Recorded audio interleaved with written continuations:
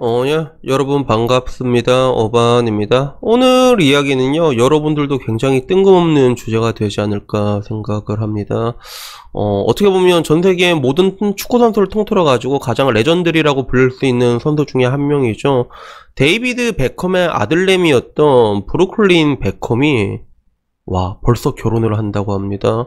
그래서 나 이거 보고 너무 깜짝 놀래가지고, 내가 기억하는 브루클린 베컴은 옛날에 인터넷에 엄청 짤방으로 많이 돌아다녔거든. 진짜 조그매가지고, 그, 베컴 한참 유명할 때 그 닭뼈들 머리 있잖아요. 그래서 그거에서 막 축구 공차던 그 꼬맹이, 그 깐난 애기로, 그 베이비로 기억하고 있는데, 얘가 씨발 벌써 다 컸어. 다 커서 결혼을 한다고 하더라고. 그래서 나 이거 보고 와 이건 뭐지 싶어가지고 결국에 오늘은 이 아들 브루클린 베컴의 결혼을 가지고 이야기를 한번 해보려고 합니다. 우선은 내가 몰랐던 것 중에 하나가 베컴이 자식이 많더라고요. 그래서 브루클린 베컴 같은 경우는 지금 현재 영국의 사진가이자 그리고 남성 모델로 활동하고 있고요. 1999년 출생을 했거든요. 그리고 학교도 존나 좋은 데 나왔더라고. 파슨스 디자인 디자인 스쿨을 나왔는데 파슨스 디자인 이쪽이 어떻게 보면 그 디자인 쪽에서 가장 유명한 학교잖아요. 하버드 정도 레벨 되나? 그래서 여기 한 번 가면 1년에 1억씩 깨진다는 얘기 엄청 많이 돌았는데 근데 제가 학비하고 확인해 보니까 뭐 1년에 1억까지는 아니고 그냥 학비만 했을 때는 4만 6천 불 정도 하더라고요. 근데 그게 또 뉴욕에 있고 그러다 보면 보통 또 이제 집값도 엄청 비싸고 월세도 오지게 비싸고 그러잖아. 그래서 뭐 그만큼 깨질 수도 있겠다 하는 그런 생각이 들더라고. 그래서 강남에 있는 그런 뭔가 예능계 자식을 둔 사람한테는 이게 굉장히 무서운 학교거든. 아들내미가 이쪽 가고 싶다고 얘기하면 집을 강북으로 옮겨야 된대. 근데 뭐 아빠 돈 너무 많으니까 뭐 상관없겠지. 그래서 지금 이제 벌써 되게 다 컸는데 얘가 좀 근데 개인적으로 좀 안타까운 게 데이비드 베컴이 뭔가 축구 선수로서도 굉장히 legendary였지만 사실 굉장히 섹시했잖아. 되게 그 간지의 상징이었잖아요.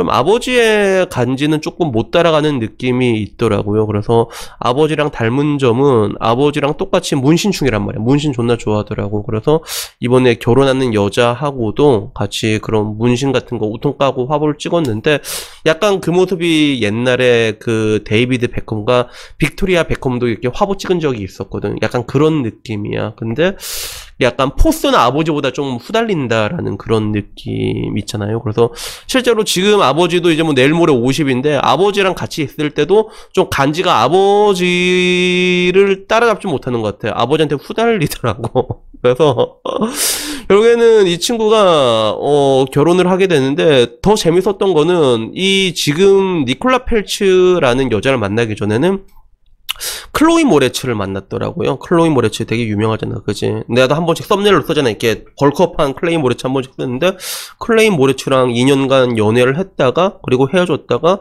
다시 개, 재결합했다가 헤어지고 그 다음에 이번에 니콜라 펠츠를 만났는데 근데 이번에 만나는 니콜라 펠츠도 와 스펙이 장난 아니더라고요. 얘도 뭐 미국의 배우라길래 야 얘는 왜 이렇게 씨 배우를 좋아해라고 생각을 했는데 이 배우도 되게 유명 한 배우였어. 알고 보니까 내가 옛날에 믿어봤던 곡에 나왔던 베이츠 모텔이란 미국 드라마가 있거든요. 그게 내가 좀 약간 좀 마이너하고 좀 이제 좀 약간 이렇게 그로테스크한 걸 좀 좋아해요. 제가 한니발처럼 막 이렇게 사람 대가리 날라고 이런 걸 좀 좋아하는데 고어한 걸 좀 좋아하는데 거기 그 베이츠 모텔이 약간 우중충하고 그런 느낌이 있거든. 근데 거기에 나왔던 애더라고. 그래서 거기에만 나왔던 게 아니라 트랜스포머 영화에도 나왔죠. 그래서 트랜스포머는 이제 뭐 본 사람은 알겠지만 사실은 뭐 지금 와서는 뭐 재밌다기보다는 그냥 보던 의리 때문에 보는데 이 영화의 특징 중에 하나가 진짜 여주가 항상 존나 끝내주잖아. 진짜 새끈빠끈 하잖아. 핫거리잖아.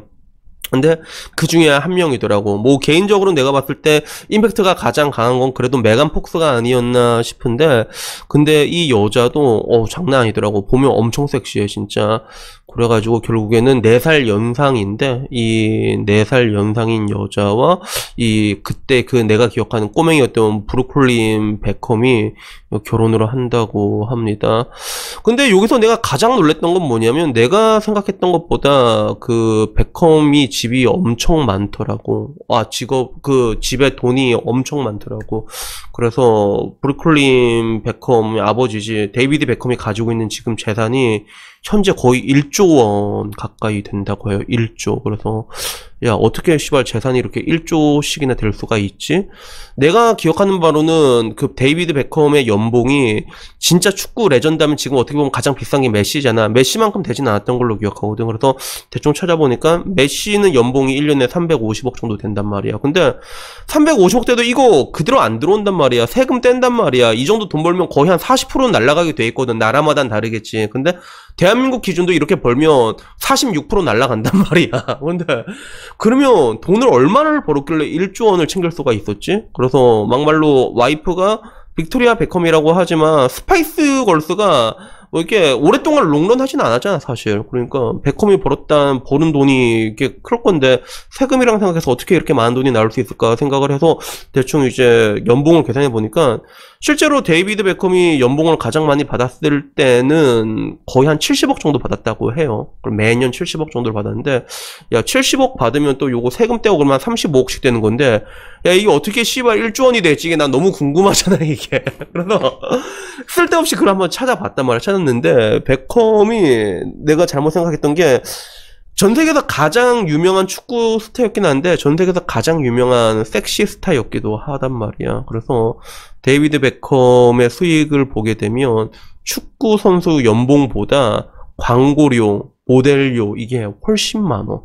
말도 안 되게 많어. 그래서 실제로 진짜 뭔가 메시하고 호날두가 엄청나게 전성기였던 그 시절에도 데이비드 베컴이 돈을 더 많이 벌었다고 하더라고. 그래서 그때도 이게 뉴스 난 거 보니까 거의 한 500억인가 벌었다고 하더라고, 실제로. 그래서, 아, 내가 이거를 좀 간과하고 있었구나라는 걸 그제서야 알게 됐죠. 그래서 실제로 데이비드 베컴은 은퇴를 한 다음에도 뭐 1년에 거의 뭐 천억씩 벌었다고 보면 돼요, 실제로. 그래서 이건 어마어마한 기록이지. 2015년에만 은퇴를 하고도 7,500만 달러를 벌었다고 하니까 어마어마한 건데, 근데 또 이걸 또 나름대로 이제 이렇게 돈을 많이 벌면 엄청난 사람들이 붙어가고 또 돈을 굴려줄 거 아니야. 뭐 비트코인도 해라, 이렇게 뭐 금 사라 이래가지고 해줄 거 아니야. 그래서 그런 것들이 이제 코인 같은 그런 마법이 더해가지고 한 1조까지 가지 않았나라는 그런 생각이 드는데, 근데 더 쩌는 거는 뭐냐면 이 브루클린 벨컴이랑 결혼 하는 니콜라 펠츠의 아버지가 그 월가에서 일을 하고 있는데 트라이언 펀드 매니지먼트의 최고 경영자라고 하더라고. 넬슨 펠츠라고 해서. 근데 이 사람은 돈이 더 많대 더 많대 데이비드 베컴보다. 1조 한 6천억 된다고 하더라고. 그러니까 집안이 그냥 조 조 집안끼리 결혼을 한 거죠 진짜. 뭐 그래서 사실 뭐 결혼이란 건 비슷한 사람끼리 하는 게 맞긴 맞는데 그래서 이 이렇게 젊은 아이 젊은 남자 어리 어 젊다기보다 어리지 그죠? 어린 남자랑 이게 이쁜 여자가 결혼을 하는데 뭐 이미 신혼집도 거의 뭐 몇백억짜리 신혼집 사가지고 그렇게 해서 결혼을 한다고 하더라고요. 뭐 어쨌든 간에 뭐 이런 거 들으면 뭐 이제 이런 거는 사실 이게 우리랑 너무 차이가 나서 박탈감도 안 느껴지는데. 근데 나는 그것보다 이게 너무 신기하더라고. 내가 옛날에 기억하는 브루클린 베컴은 진짜 애기였는데 와 씨발 얘가 이제 벌써 커가지고 이제 결혼을 한다고 하니까 이게 너무 신기한 거야. 그리고 또 다른 이거와는 별개로 여담으로 나는 베컴이 아들만 있는 줄 알았는데 그 뒤에 또 늦둥이 딸을 하나 더 낳더라고. 하퍼 베컴이라고. 하퍼 베컴인가? 꼬맹이가 하나 있는데 얘도 또 너무 귀엽더라고. 그래서 그런 거 보면서도 이제 아 씨발 뭐 여러 가지 생각이 들더라고요. 그래서 여튼간에 뭐 오늘 이야기는 뭐 특별한 건 아니고 내가 옛날에 봤던 그 꼬맹이가 벌써 씨 결혼을 한다 그런 게. 난 너무 신기해가지고 이렇게 한번 이야기를 한번 풀어봤습니다. 여튼 뭐 오늘 이야기는 여기까지고요. 다음엔 조금 더 재밌는 이야기로 찾아뵙도록 하겠습니다. 이상입니다. 감사합니다